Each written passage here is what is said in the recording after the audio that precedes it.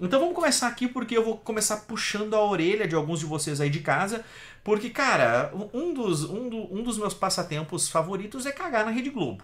É, a grande mídia toda, para mim, é, é, é, um, é um boneco que a gente precisa bater neles a todo momento, em todas as possibilidades que a gente possa, que a gente possa ter. Vamos ver aqui como que começou essa parada da grande mídia, tá? Olha só o que a grande mídia começou a falar. O Flávio Garage aqui compartilhou, mas milhares de pessoas compartilharam lá no X, tá? Uh, e tal. Eu já vi prostitutas na beira de estrada que fazia papapá, penetração em troca de uma pedra de crack com mais honra do que os jornalistas, né?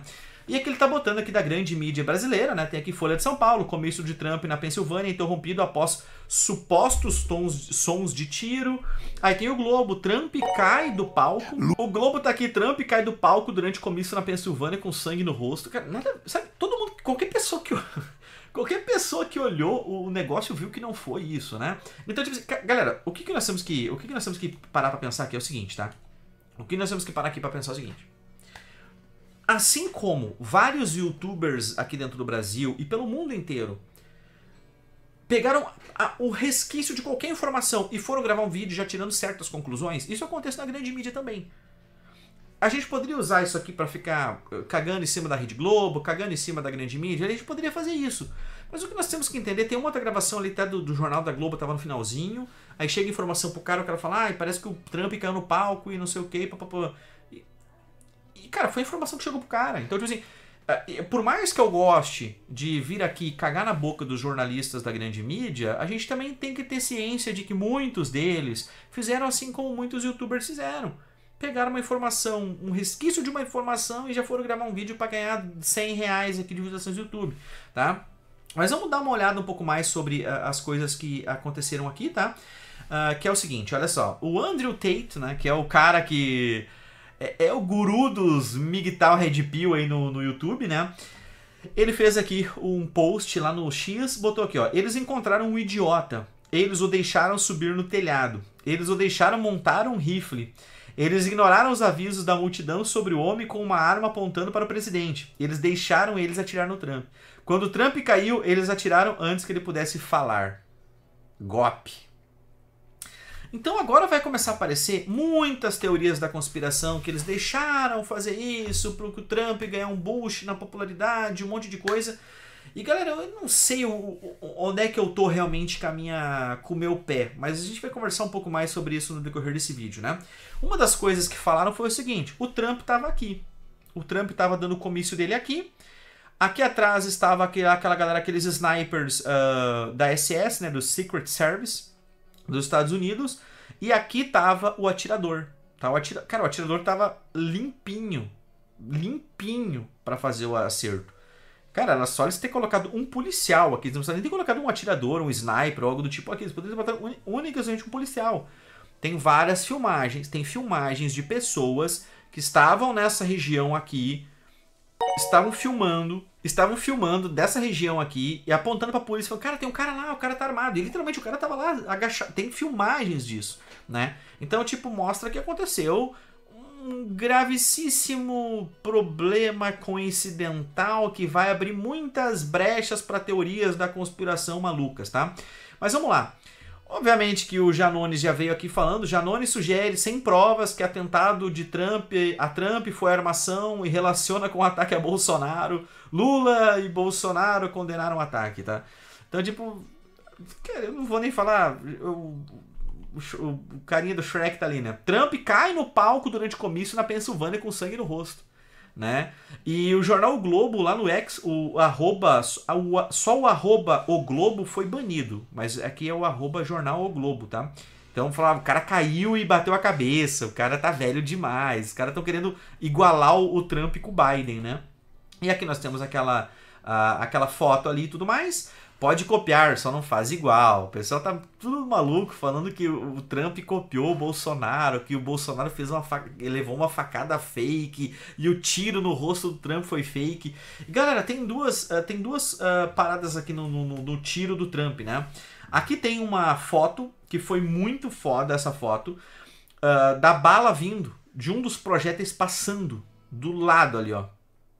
Eu não, não, sei se esse foi o projeto que pegou nele, que pegou na orelha, Uh, muitas pessoas falaram que o tiro pegou no teleprompter que tinha do lado dele, voou o estilhaço do teleprompter na cara dele. Outros falaram que foi o projétil. Esse projétil não era um projétil de grande porte, que veio direto ali e bateu nele e tudo mais. Mas depois ela falou: Meu Deus, como tiraram essa foto? Galera, tem 50 maluco com câmera ali, e muitos deles estão naquele modo canhão, né? Que é, tira um monte de foto por segundo. Cara, não é impossível. É, é, é uma foto bizarra, mas não é impossível. mandou 37 reais. E aí nós temos. O que, que, mais nós temos aqui? Deixa eu ver, acho que nós temos outras fotos. Nós temos a foto uh, mais marcante de todas, que foi essa foto aqui. Estão dizendo que é a foto da a recandidatura do Donald Trump, né? Uh, aqui nós temos uma outra foto de um outro ângulo, né? Onde ele supostamente, não sei se é um detalhe do terno ou um tiro que ele levou aqui no peito também, tá? Mas o que nós temos que entender de tudo isso, galera, Agora eu vou dar a minha opinião sobre tudo isso, tá? Isso que aconteceu com o Donald Trump era uma parada que o Paul Joseph Watson comenta muito nesse vídeo dele aqui, ó.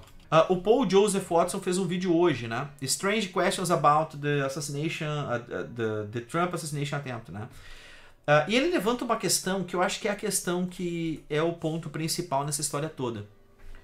Vocês têm dois caras lutando na campanha, né? Biden e Trump.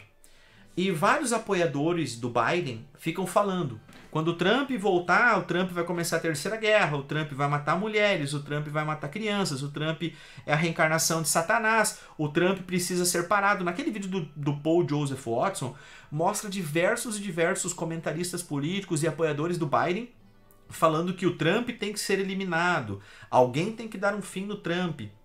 E o que, que acontece? Isso sim, a gente pode usar aquela expressão de apito de cachorro. Isso sim é uma mensagem meio que subliminar.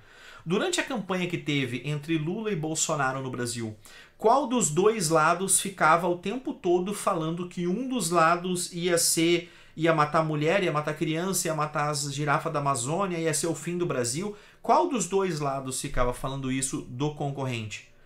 Eu não lembro de ter visto Bolsonaro falando que Lula ia matar mulher, criança e Lula ia. Ele falava que Lula ia ser sim o fim do Brasil na questão econômica, na questão cultural, na, em vários aspectos. Mas nunca falando assim, o Lula precisa ser eliminado. Já do lado da esquerda, aqui dentro do Brasil, a gente ouviu muito se falar isso. A gente viu uh, peças publicitárias onde o pessoal literalmente decapitava um boneco do Bolsonaro e jogava futebol com a cabeça do Bolsonaro. E isso, a gente pode fazer um paralelo muito perfeito entre o, o Lula e o Bolsonaro e o Trump e o Biden, porque lá nos Estados Unidos a esquerda também utilizou essa tática de ficar falando: olha, se esse cara ganhar, hum, vocês estão fodidos de uma maneira, sabe por quê? Porque ele vai matar tua família, ele vai matar tua mulher, ele vai matar criança, ele vai matar quem. Vai... E aí o que acontece? Acontece algum desses idiotinhas aí, acontece de um desses idiotinhas aí ter acesso à arma, escutar esse tipo de coisa, já tá com a cabeça mais para lá do que para cá. E aí tem muita gente falando, ah, porque o cara, assim como o Adélio, que era do PT, era registrado no PT, esse cara era registrado no Partido dos Democratas. Cara, esquece isso, esquece isso. Nós temos que tratar essas pessoas como elas são, elas são doentes. Lá nos Estados Unidos, né? Lá nos Estados Unidos, é, foi o cara foi alvejado, né? Ele estava alvejando, lá tava dando tiro. Acho que não tinha outra maneira de uh, cessar o ataque dele, né? E tal. Acho que foi a polícia foi certeira. Só que aí vem a Rede Globo e fala o seguinte: o cara que atirou no Trump foi assassinado. Cara, quem acompanha aqui o canal há alguns anos já sabe. Eu, eu sempre tive uma indiferença perante a Globo. Porque eu não olho Globo, eu não conheço ninguém que assiste Globo. Sabe? É uma coisa. Para mim, se existe ou não, tanto faz. Mas dos últimos anos pra cá, eu criei um asgo que vai ser uma das coisas que eu vou comemorar com churrascada e queima de fogos aqui em casa. É o dia que a Rede Globo deixar de existir, cara. Porque vem os repórteres da Globo, depois de já ter a informação de que o Trump foi sofreu um atentado, falaram que o serviço secreto americano assassinou. Cara, como é que tu vai parar um maluco, irmão? Como é que tu vai parar um maluco que literalmente está com um fuzil, né, de alta capacidade de tiro, de bala, como é que tu vai brecar esse cara, parar esse cara? Ah, com uma carta pro tribunal de Haia. Com um coraçãozinho. Ou arremessando um índio Yanomami nele, talvez. Porra, velho. é complicado, velho. E tu vê a Rede Globo falando esse tipo de merda, assim, dá uma vontade, assim, dá um negócio assim, de, tipo assim, cara, assim. Então, tipo assim, cara, essa parada do Trump uh, com certeza vai dar um apoio muito grande a ele. Não vou mostrar as imagens aqui, apesar de a gente ter as imagens também. No momento que ele leva lá o, o tiro, né, o de raspão lá, o, o fragmento, o machu... no momento que machucam ele lá no, no pódio, ele levanta lá e mete que. Cara, aquilo ali, aquilo ali eu vou te falar assim, cara, tu pode ser de esquerda, tu pode ser de direita, mas aquilo ali, cara, eu vou te dizer real, pode ter sido a imagem, a foto, o ato que fez o Donald Trump se reeleger.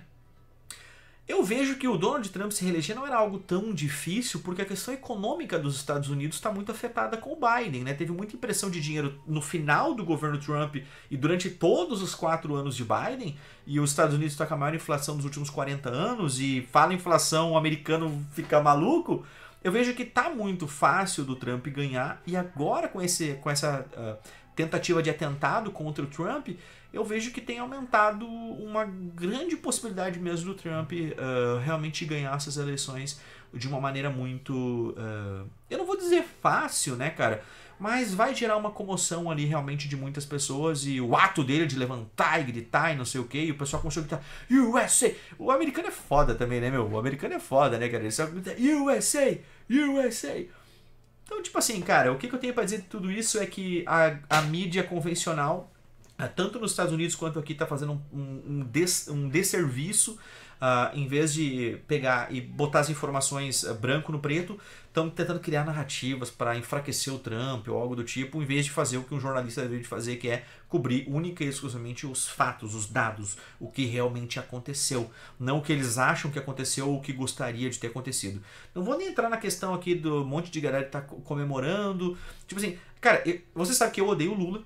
Sabe que eu odeio o Lula com todas as forças uh, do meu coração, mas eu não desejo que o fim do Lula seja assim. Eu não desejo que ele esteja num comício, apesar. Lembra no, no último comício que a gente mostrou do Lula que ele tá na Bahia lá olhando pro lado, todo, todo espiado. Eu falei, hum, será que a snipada vem agora? Ele tá com a cara de que ele tá preocupado. Eu, eu, quero, eu quero ver o Lula. Eu quero ver o Lula deixando de existir na questão ideológica. Eu quero ver o Lula deixar de existir. Eu quero que esses políticos de esquerda não sofram atentados. Eu quero que esses políticos de esquerda, que o pessoal estude, entenda que todas as políticas que eles criam são algo que é mais danoso para eles do que benéfico, entendeu? Eu quero ver o Lula deixando de existir, e como eu tenho 40 anos e ele tem 70 e pouco, 70, eu tenho quase certeza que eu vou ver ele deixar de existir dentro desse planeta, mas eu quero ver ele deixar de existir não na questão de sofrer um acidente ou algo do tipo, eu quero ver ele deixar de existir realmente na questão ideológica, das ideias dele que não fazem mais a cabeça de praticamente ninguém, a não ser daquele 1% da galera que tá mamando nas tetas dele enquanto ele tá lá no poder, né? Então esses eram meus, uh, meus 5 centavos sobre esse assunto e bora continuar a live.